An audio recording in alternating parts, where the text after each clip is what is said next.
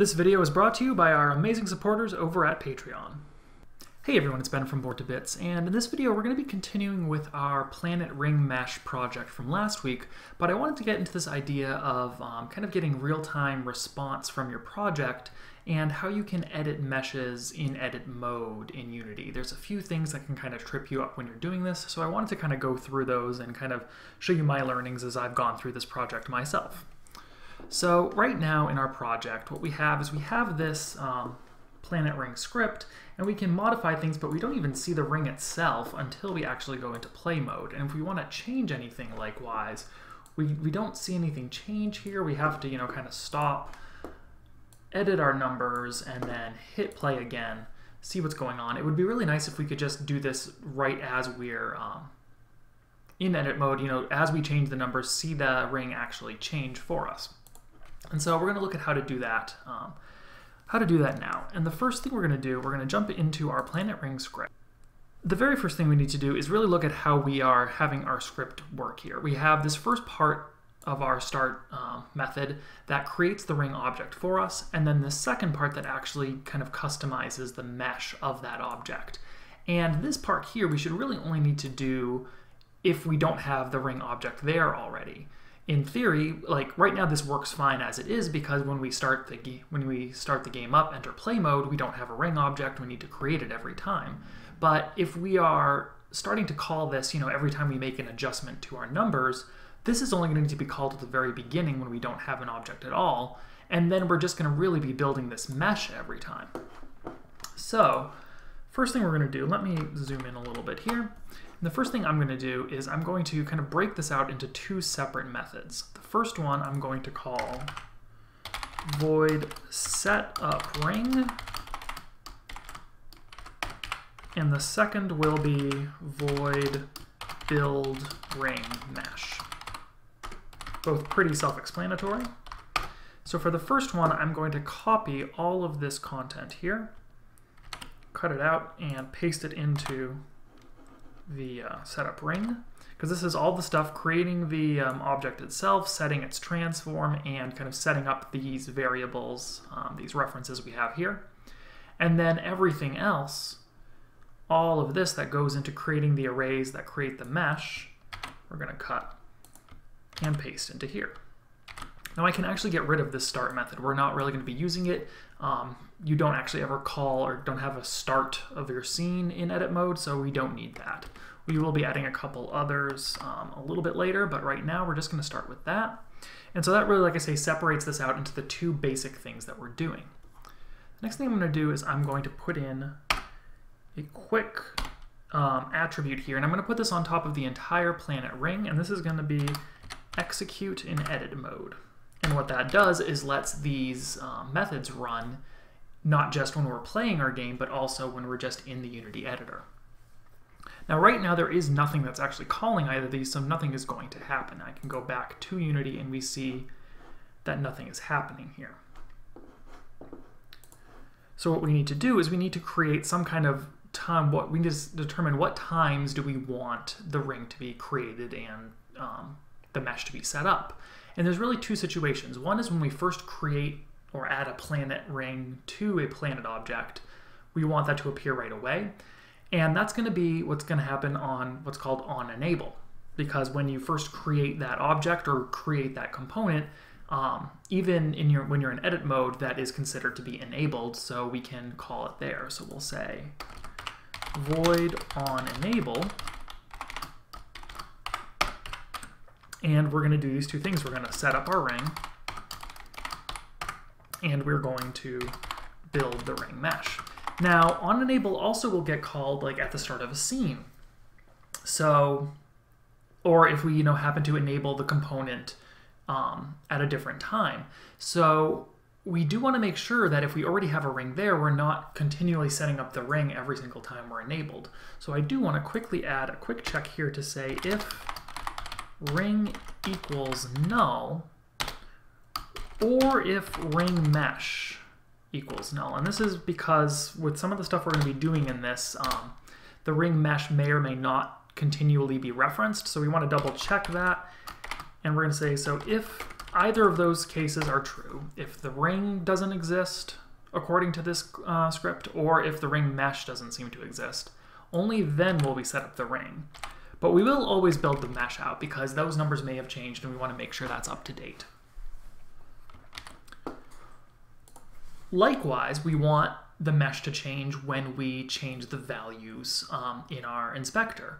And Unity includes a method call for that called onValidate, which will always be called when you um, change any values in your inspector and it's kind of validating, make sure that everything that you've put in there is an appropriate value. You're not putting letters into an int um, variable, for example. And we're just going to call these same two, oops, oh dear, there we go. We're going to call these same two um, methods with the same if check there. So with that, we can jump back over to Unity and what we should see start to happen is this ring appears. However, we also, you'll notice down here, are getting an error in our console. This is saying instantiating, instantiating mesh due to calling meshfilter.mesh during edit mode. This will leak meshes. Use shared mesh instead.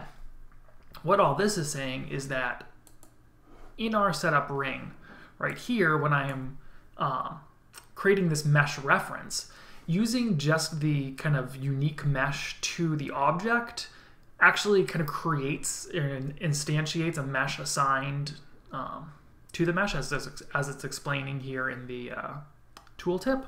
So what can happen there is you can start like creating mesh after mesh after mesh and just kind of pooling all these meshes and it, you know, creates a bunch of them that you don't need. That kind of creates garbage that's going to have to get collected eventually. But when you're in edit mode, that can just kind of build up.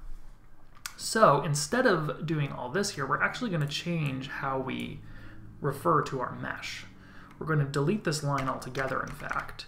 And after all of this, I'm going to, we're going to create a mesh in a different way. Instead of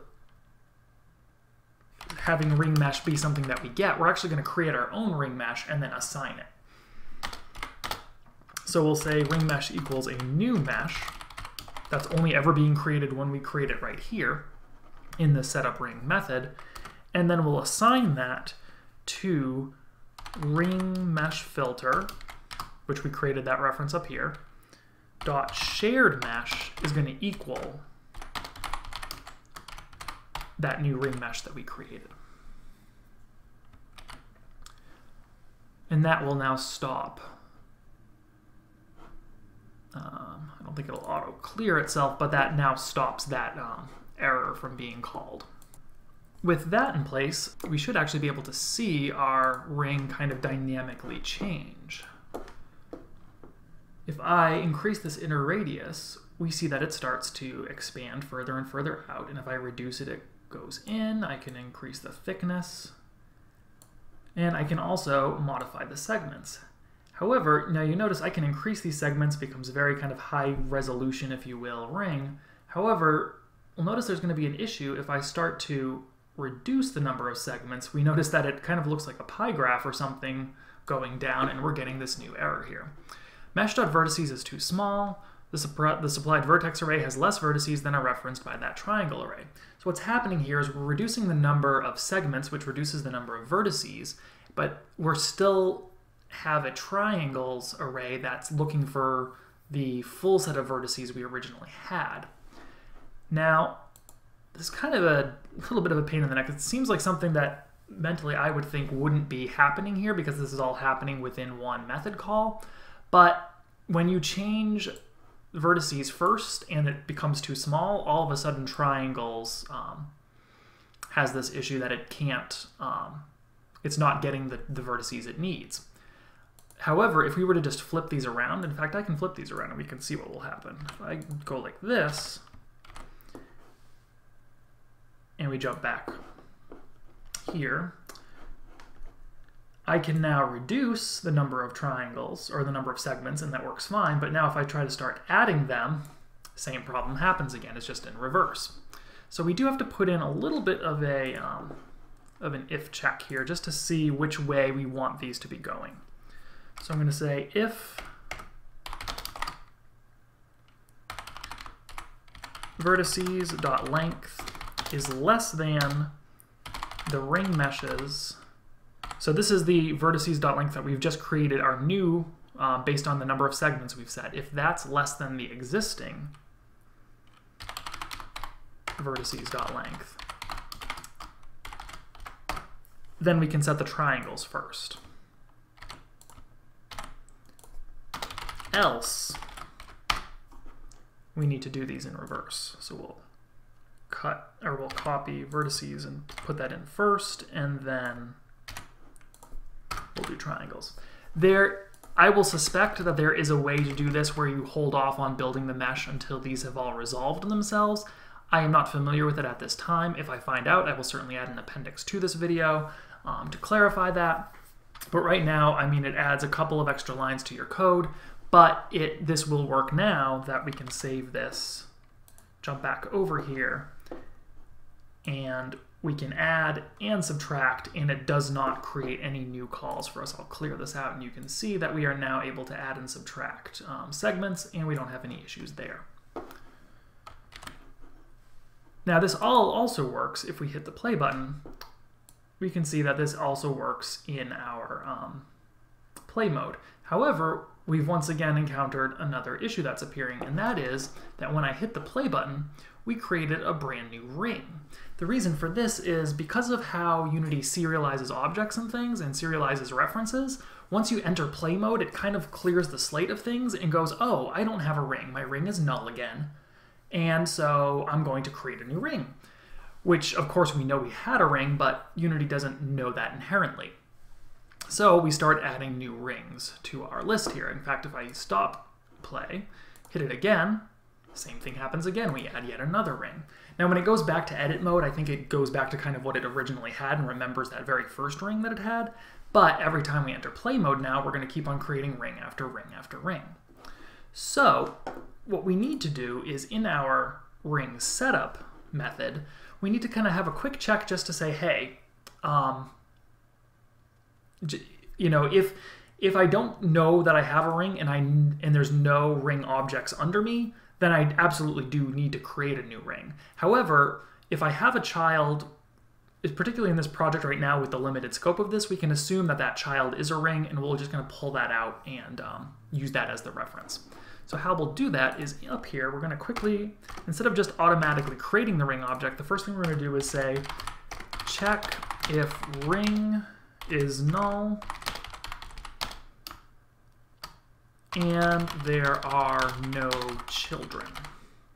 And so we'll say if ring equals null, and we'll get the transform of our planet dot child count equals zero. So if we don't have a reference to a ring and we have no children, then we're pretty much going to create this ring as we did before. We'll say We'll, we'll cut this, paste this into here, and we know we have all that. Now I am going to add one more thing in here, and this is kind of future-proofing, and you don't necessarily need to do this, but let's say we knew that we were going to have some other stuff that was childed to this. Maybe we had a moon floating around, or we had, um, you know, some buildings on the planet or something that were children of the planet. I'm just going to quickly add this ring.transform dot set as first sibling. And what that does is means that we make sure that our ring is always going to be the very first, it's going to be in the zero index of the children. And the reason for that is that now we know if we if the ring is null and transform um, and transform dot child count is zero, then um, if we know that we do have children, we know that that very first one is the ring that we need. So what we can do is we can say else. We can just quickly kind of um, double check and say ring equals transform dot get child zero and we need to get the game object component of that because ring is a, a uh, game object. And we can also just quickly say that our double check that our ring mf equals ring.getComponent mesh filter and ring mr equals ring get component mesh renderer.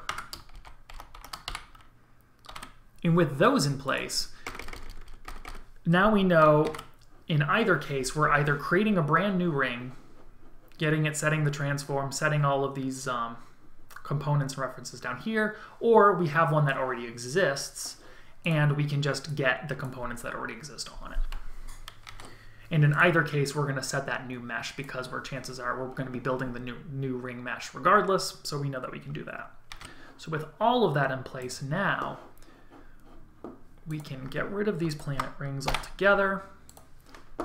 We now know if we do an on validate, we'll create our new set of rings. And then if I hit the play button now, we don't create any new rings, but we still have access to our current rings. And we can change these values again and confirm that that is still referencing and working properly. So with that, you now have a way to create new meshes um, and then modify those meshes either in edit mode or in play mode right from your um, inspector and be able to view those in real time.